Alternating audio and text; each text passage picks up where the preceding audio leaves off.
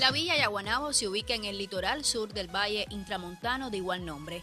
Justo en la carretera que conecta las ciudades patrimoniales de Cienfuegos y Trinidad, la instalación acoge fundamentalmente un turismo de circuito donde el principal mercado emisor es Alemania. Mientras los clientes nacionales también escogen este destino para disfrutar los encantos naturales del sitio, así como la calidad en los servicios que brindan.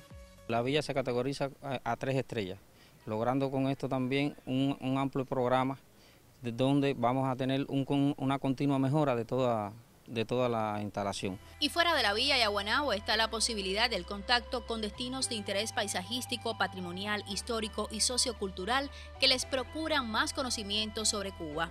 Se trata del producto turístico integrado que promueve la instalación perteneciente al grupo hotelero Isla Azul. Una de las políticas de nuestro grupo hotelero de forma general es un Isla Azul renovado, diferente.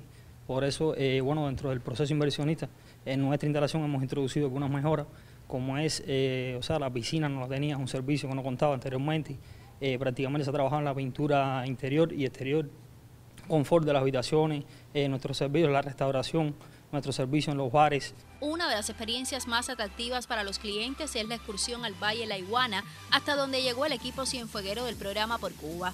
Historias y valores naturales del lugar serán contadas en un próximo reportaje desde esta zona de litoral y montaña en Cienfuegos. Mayelín del Sol, Nodisur.